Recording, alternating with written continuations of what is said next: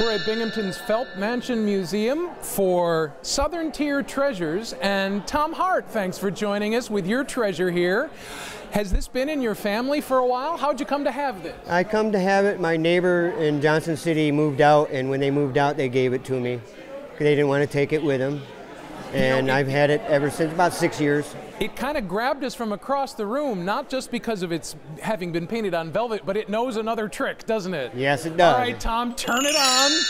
There Look it is. that.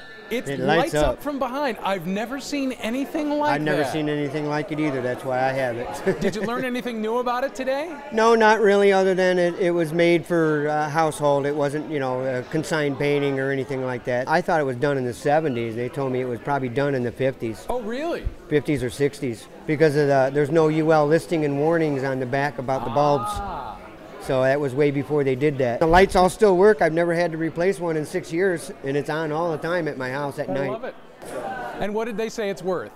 About 150 to 200 dollars. About $200. Well, thank you so much for bringing it in. Again, never Thank seen you. anything like that. I lot, haven't Tom. either.